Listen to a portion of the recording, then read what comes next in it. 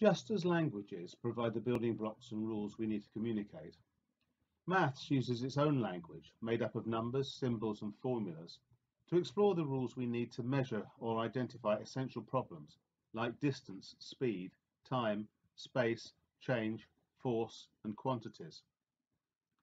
Studying maths helps us find patterns and structure in our lives.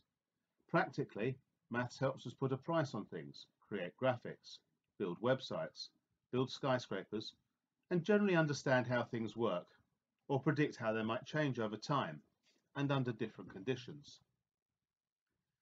It's not surprising that maths is a very popular A-level choice. On average, those with a maths A-level earn 11% more over their lifetime than those without. A-level maths is tremendously important. It provides a firm foundation for all scientific, technical, engineering and mathematical careers and a good start for uh, many other types of careers, such as those in finance, medicine, agriculture, and so on. According to the Russell Group, maths is a facilitating subject. Maths A-level is a must-have for degrees in physics, engineering, actuarial science, economics, and of course, maths, although you may need to study further maths course to do this.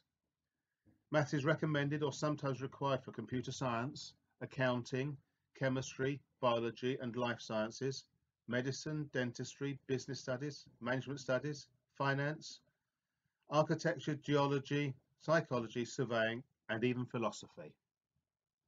At Beechwood we offer both maths and further maths to A-level.